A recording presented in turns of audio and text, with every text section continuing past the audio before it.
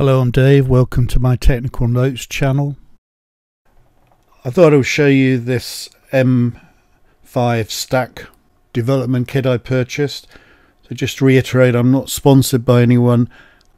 I purchased my own equipment to uh, to demonstrate. So this is an ESP32 based modular stackable Arduino compatible unit. It's quite small, self-contained. A reset switch, a micro USB C-type connector, a Grove I2C connector and a let's call it a bus connection for the primary connections to the ESP32. The more bus connections, a TFT or micro SD card reader, three user buttons, a loudspeaker, one watt loudspeaker, more connections, and um, that's about it. So it's stackable. I'll show you that. So I purchased also a prototype stack unit. So let me turn the turn the unit on then. So single press of the reset button. It's currently running a graphics demonstration. It's very easy to convert the graphics, um, perhaps the Adafruit ILI 9341, a program written for that. Replace the library, I'll give an example, but replace the library and prefix the graphics uh, uh, drawing statements with M5. So that's quite easy to do. I found that very easy to do. Runs very fast. It's a 2 inch LCD color display, 16 bit color. And you'll see there that's running at hardware SPI bus speeds. To turn on and off, you, you can press to on and double press to switch off. So have a look inside. By the way, this is the kit that comes with it. You get the micro USB C-type short connector. It's essential you have the type C connection. A DuPont cable for I.O. connections. Labels and some instructions here's the unit inside let's do a there's the base of the unit and um, a, a nice labeling of all of the connectors so you know which one is which in terms of internals the ESP32 is here has this um, dual 15 row 2.54 millimeter bus connector here and the connections for this bus are shown here in that nomenclature.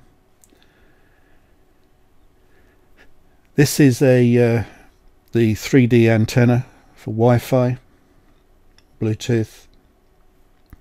On the back, just to reiterate, on the back is a 2-inch 320 by 240 LCD color display. Here is an audio amplifier. Over here is a 1 watt speaker. There's a power management chip here, a 3 channel power management chip. A UART, a CP2014 UART. Um, Type C micro USB Type C connector.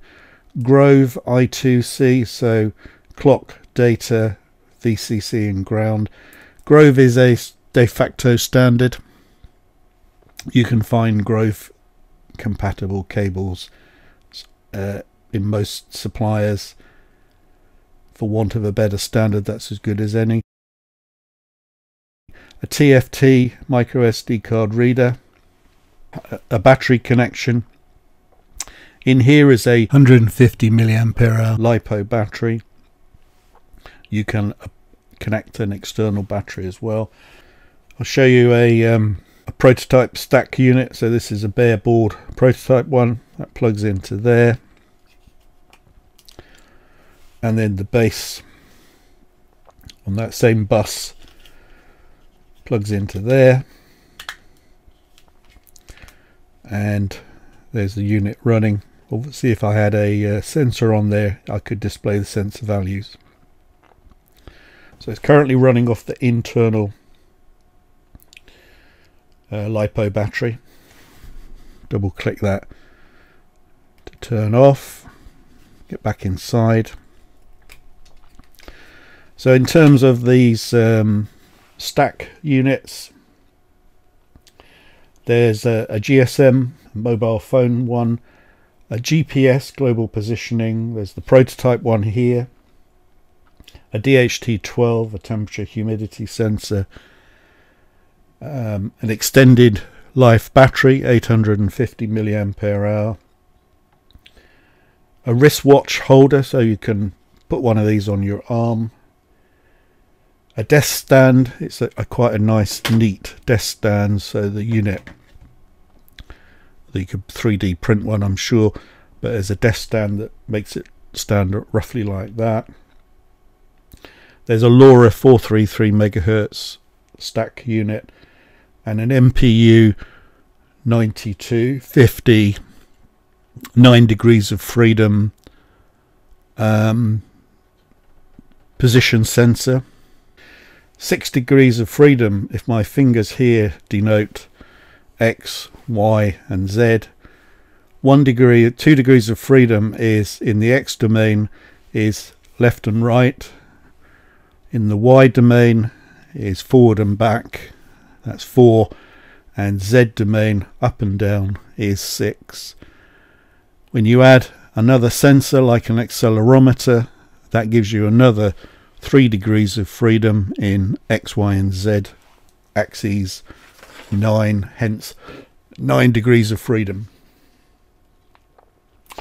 So that is the M5 stack development kit.